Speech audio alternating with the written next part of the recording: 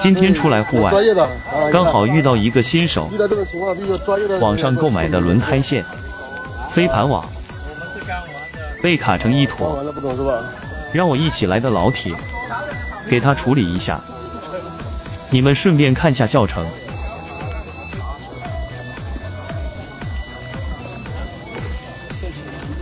对，要扯到一个链条，慢慢扯出来了啊。这个出教学的啊，对，有教学的，缠住了哈，来完了没有？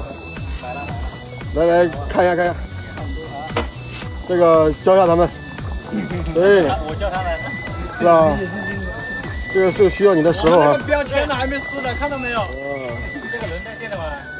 真的，你这个兄弟也是比较专业啊，给底下给你绑好了啊。是我们家的老铁，都是个个都是比较牛、比较厉害的啊。因为这里还很乱，上面是先把先把先把先把先把那个链条弄齐了，这里这样带紧，这样才能吊上来。来来，你先手上，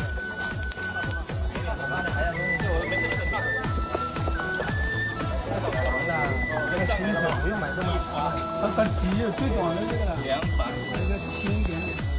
哎呀，这这太轻了，这穿哪里了？太轻了，太轻了，太轻了不好抛啊。呃，这个不好抛。新手。的话，这个网太打的很很费劲了。我一个手拿着没力了，一个手抓就抛两网。这么轻都拉拉不起来吗？好，这搞好了啊！搞好了。对，看到没有？老司机出手就是不一样啊！把那个链条跟他拉，这种这种不太好，不太好，不太好开。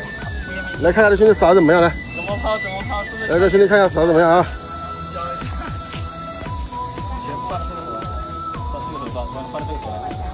哎呀，这个好。放下来，放下来，放下来，重新剪一下。你剪的时候一定要先把这里先剪好，再拖到底下。按链条一把，三把下去。这把这把抓到网边。第一，下水慢。对。第二，吸水后变重，增加了撒开难度，特别是新手更加困难。第三，线太粗，深水很难抓到大鱼。最后总结新手朋友的购买时的心理想法，认为这个结实，而忽略了下水快，才是抓鱼的最关键因素。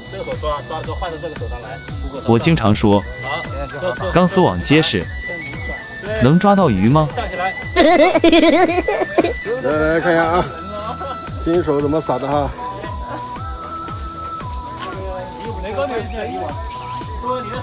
来了啊！哎，还可以哦。啊，你两个手在什么？就是下水下下的有点慢啊，下水下的有点慢。哎，可以可以，不要不要这这个地方拉快一点，不要拉那个了。哇，今天发洪水了啊！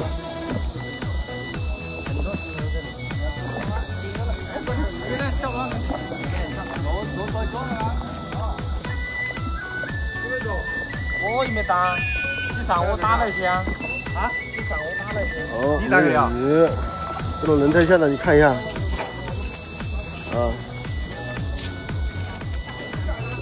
这个胶丝没有几根啊？就七八根的。胶丝比较少，而且这个绳子也比较细。你看，是不是？手绳看一下我们的。看这个下面这个，啊，这里还没有没有套管的哟。你看这个是直，这个直接，它这个是直接绑上去的，看到没有？是直接绑上去的，全部是这样的吗？拉丝，而且非常少看，直接绑上去的这个是。OK。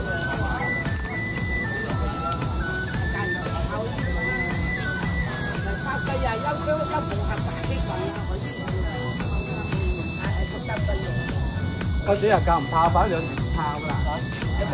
对，就这样，就这样。哎，好，弄下去。好，可以可以，对，拿好拿好，拿好，对对对对对对，可以可以，可以的啊。来撒一下看一下啊，走，哇，撒的挺远啊，这个下水比较慢，你看。这个下水速度多少鱼都跑了。